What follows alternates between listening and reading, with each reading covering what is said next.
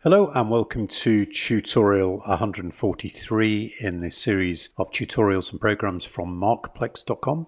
And in this tutorial, we're going to be looking at an analysis of volume and trade size using the time and sales provider and also the price series provider. What I've done is applied the program we're looking at three times to a chart and we've got various different metrics uh, showing. And the first one we're going to look at using this program is the quartile volume. So what I've done here in the program is each bar, each trade is put into a vector and it's put in by size of trade. So for example, the largest number of contracts will go at the top of the vector, the smallest number will go at the bottom of the vector. And then uh, what we do, we take the number, say for example it's 100, and then for the 25th uh, percentile volume, we take the top 25 and we add the volume of those trades.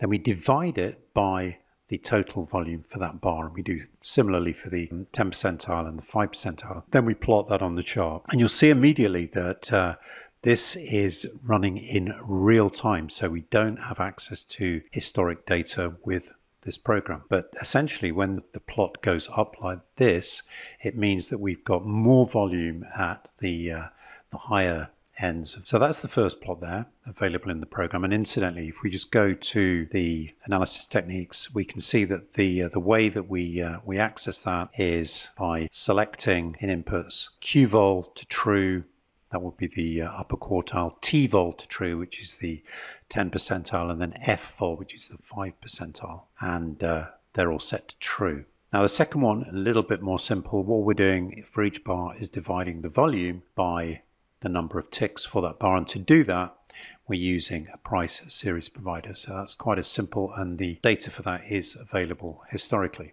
And then the third one is again not available historically, but what this is doing is looking in the vector and looking at the very the item at the very top of the vector. In other words, the uh, the largest trade for that specific bar, and then it's plotting the number of contracts. So we just go along here and we'll see that uh, that number is 151 for this bar. So they are they are the uh, the the plots available. And another thing to bear in mind, apart from the real time historic issue, is that um, the time and sales provider is not um, synchronized with the price information. So you might get some situations where a trade is associated with one bar, actually it occurs a different bar. And uh, so, I, although I, I, think for the, the purposes of, of this, that um, I hope would not affect things. Now, let's look at the program.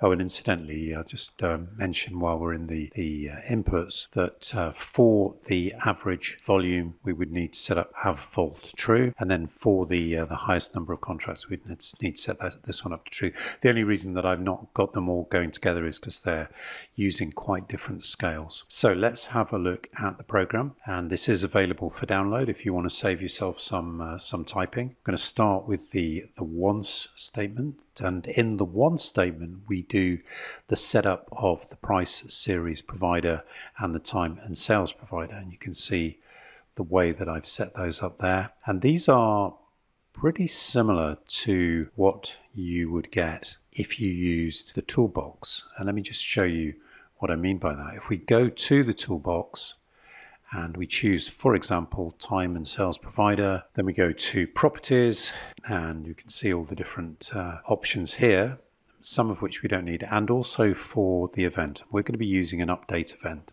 So if we are going to use that, we double click there.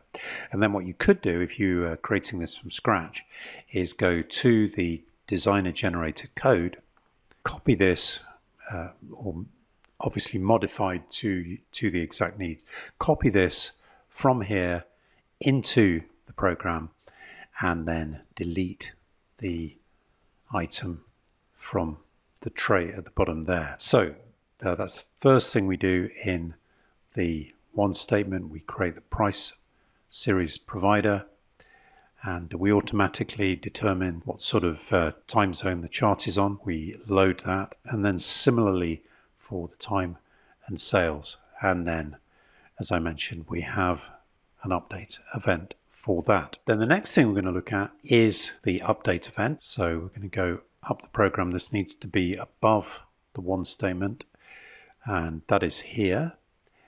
And uh, what we're doing, we're looking for a reason that something has been added. And um, once we know something's been added, we're looking for specifically a trade, tick type trade. If we have a trade, what we're going to do is we're going to record into a vector, which we're calling trade vect. We're going to record the size of that trade into the vector. Now, what record does is it makes sure that the highest values are higher up and the lowest values are lower down. And, effectively, what it's doing is sorting, making sure that the vector is sorted all the time.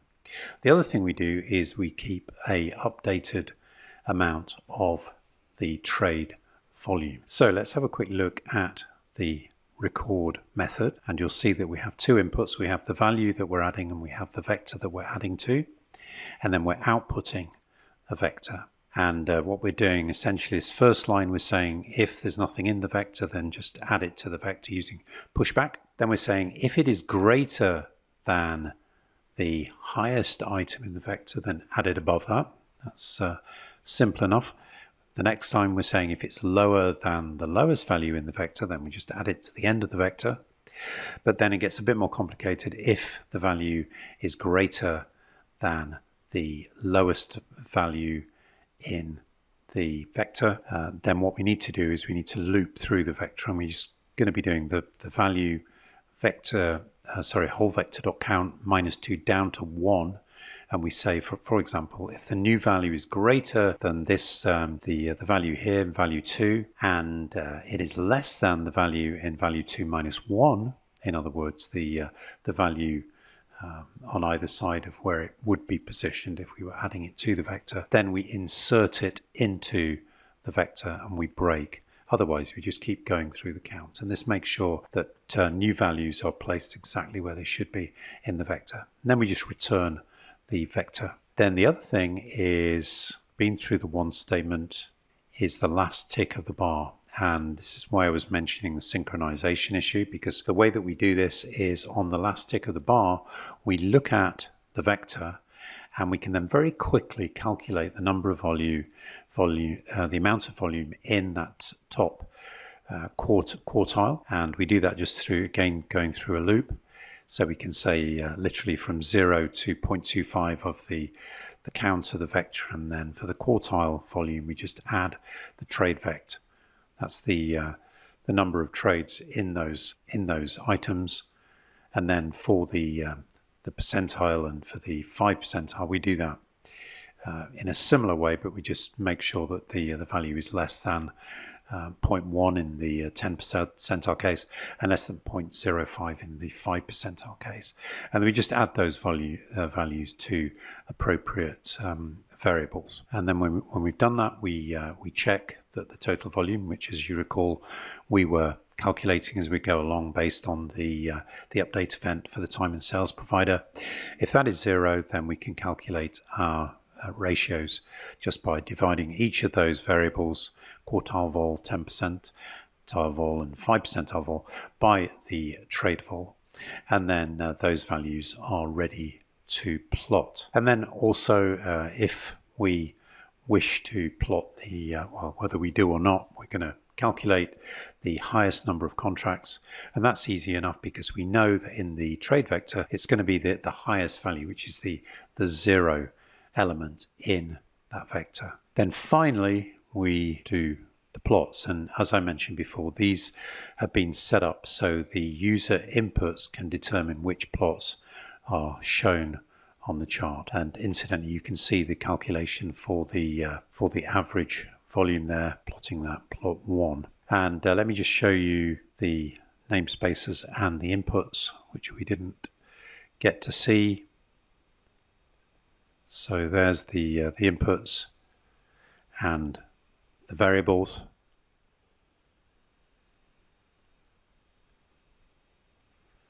And then the namespaces here, tsdata.marketdata, elsystem, elsystem.collections.